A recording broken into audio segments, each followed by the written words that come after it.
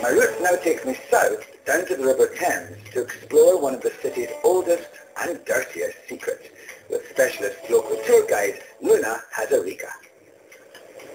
So, Loona, why have you brought me here?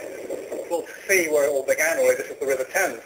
What happened in the early 1800s, it started to be used as sewer. The problem happened in the summer of 1858. It was also known as the Great Stink when the sewage problem got totally out of hand. It was a very hot summer. The river levels went really low and the whole thing just looked really mushy and smelly. And it remained for a Victorian genius by the name of Joseph Bazalgette, who was head of the Metropolitan Board of Works, to actually come up with this system of pipes that actually stay underneath our feet today. So, so the embankment became the embankment because there's all these sewage pipes underneath it. Absolutely. And where the river the river went much further up there then? Yeah, it would have been 100 metres wider. The northern part would have been the Victoria embankment. The southern part would have been the Albert embankment. Right. It was actually narrowed. Instead of digging around the roads, he reclaimed land and dug through that to actually lay the sewage pipes there. By the time he dug these trenches, it actually took the opportunity to say, look, why don't we put the district line there as well? So to actually put the underground system in there. You know, I think it's weird that in Roman times you had sewage systems, and then we all sort of forgot about it, and it wasn't until Victorian times that we built them again.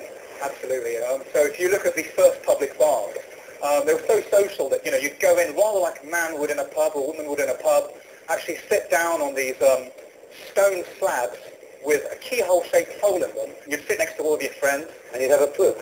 You'd have a poop and you'd actually talk and you'd have like a very friendly conversation. You're obsessed with poop. You're obsessed with poop. I'm obsessed with the, um, I think the, uh, the history of London and that whole part of it. what is that in your pocket? Well, how they used to use poop and how they used to actually clean themselves up afterwards. Obviously, there was no toilet paper in those days. Yeah. And this is what they used to use. And they used to use something like this. It's a recreation of a Roman poo brush.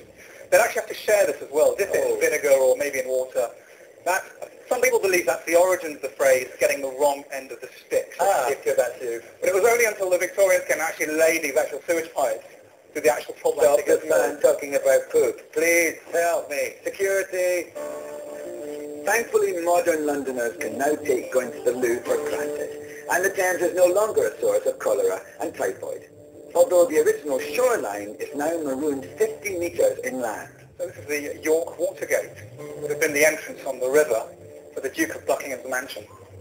Think of it like Oh, a because all this was the river, and that's where the boats would... go in. God, like a look at that. driving garage, really. So you get maybe the Duchess would want to get off and not show her ankles in public, so she'd actually take the boat straight through the Watergate and get off in the privacy of the actual mansion. There are a series of mansions all the way down the shoreline here.